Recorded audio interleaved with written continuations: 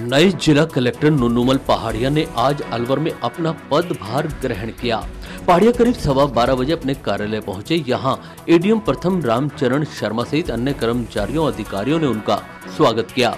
इससे पूर्व circuit house में पहाड़िया ने ज़िले के अधिकारियों से परिचय लिया। पहाड़िया सवाई माधोपुर से स्थानांतरित होकर अलवर आए हैं।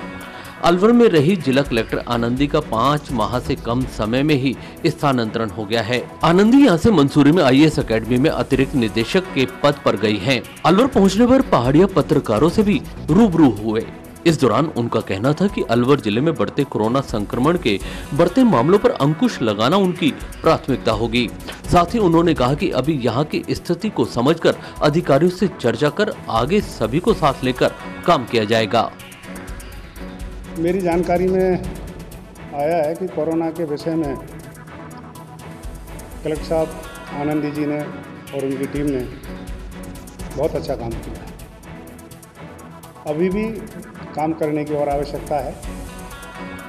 हमारी टीम के साथ साथ आप लोगों का और आम जन का सहयोग बहुत अपेक्षित है।